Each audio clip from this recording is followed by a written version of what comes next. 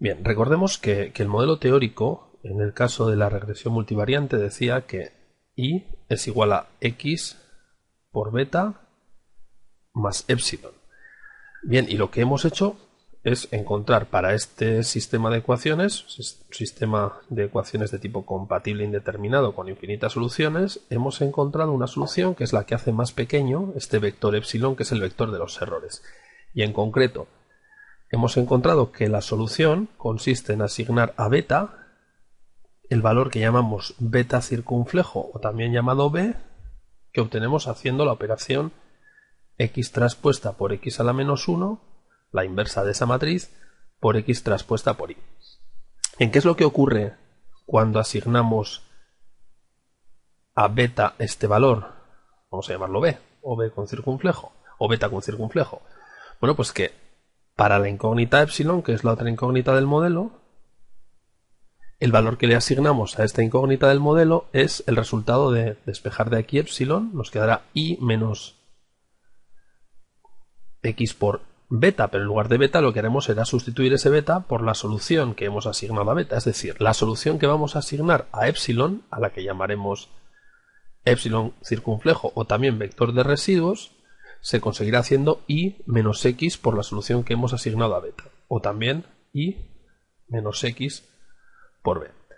Dicho de otra manera, pues lo que hemos hecho ha sido, al sustituir en este modelo teórico los valores asignados a beta, es decir, este b de aquí, y a epsilon, es decir, este e de aquí, hemos obtenido un conjunto de igualdades que nos dicen que i es igual a x por b más e.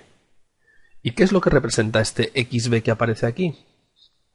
Pues esto es el vector de las estimaciones que el modelo hace para la variable i. A este vector xb lo vamos a llamar i con circunflejo y es el vector de las estimaciones estimaciones de la variable dependiente. Y a este que nos queda aquí, a este e, es el vector de los residuos. Naturalmente lo que hemos conseguido es que este vector de residuos sea muy pequeño y que estas estimaciones xbet o a partir de ahora y con circunflejo estén muy próximas, lo más próximas posible a este vector y que era el que pretendíamos estimar. Bien, pues a continuación, en el ejemplo que veníamos desarrollando, vamos a calcular las estimaciones de y, vamos a calcular este x por b, vamos a calcular los residuos y finalmente a partir de estos residuos vamos a calcular también la suma de cuadrados de residuos que se podrá obtener. Bueno, pues como tradicionalmente lo hemos hecho, elevando cada residuo al cuadrado y sumando esos cuadrados, o bien utilizando la expresión matricial E traspuesta por E.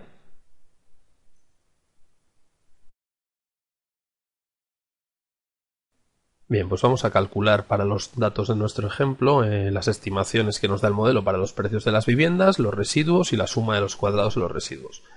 Eh, aquí tenemos el vector con las estimaciones, el que hemos calculado previamente. Aquí lo hemos hecho con la fórmula insertando unas funciones dentro de otras.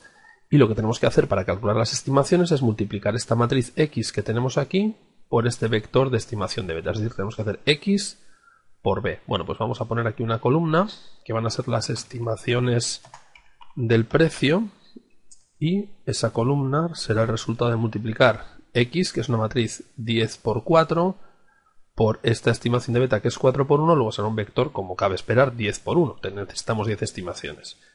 Escribiremos igual a mmult, la matriz x, que la tenemos aquí, punto y coma, y este vector que tenemos aquí,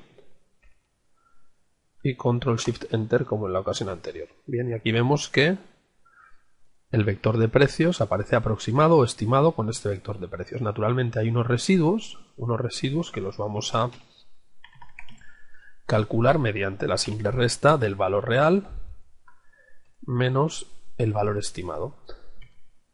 Y ahora copiaremos esto, control C y control V y obtenemos los residuos. Estos residuos vamos a hacer la comprobación de que tienen que sumar cero comprobamos que efectivamente estos residuos suman cero Y por último vamos a hacer la suma de los cuadrados de los residuos. La suma de los cuadrados de los residuos, pues como decíamos, podíamos obtenerla bien elevando cada residuo al cuadrado y luego sumando esos cuadrados, o bien utilizando la función mmult, diciéndole que queremos que nos multiplique el vector de residuos traspuesto por el propio vector de residuos.